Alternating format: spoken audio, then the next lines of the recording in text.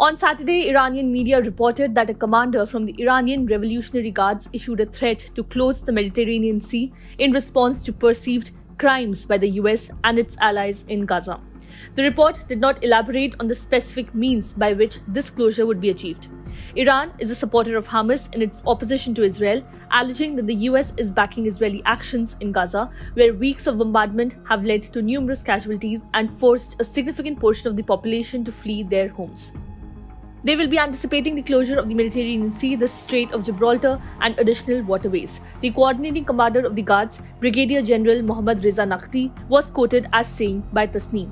In the past month, Yemen's Houthi group, aligned with Iran, has targeted merchant vessels in the Red Sea as a response to Israel's actions in Gaza.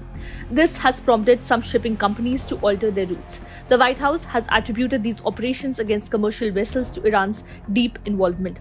Although Iran lacks direct access to the Mediterranean, the Iranian Revolutionary Guard's plan to potentially close it off remains unclear.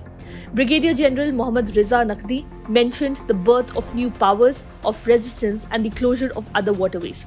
Referring to recent events, Naqvi emphasized the challenges faced by adversaries, stating that the Persian Gulf and the Gulf of Hormuz has become a nightmare and now they find themselves trapped in the Red Sea.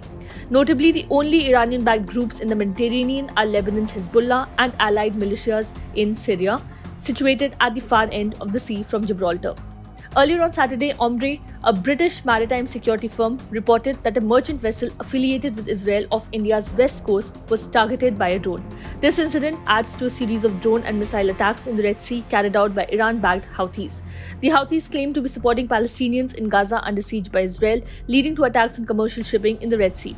Consequently, shippers have been compelled to alter their routes, opting for longer journeys around the southern tip of Africa to avoid the heightened risks in the region.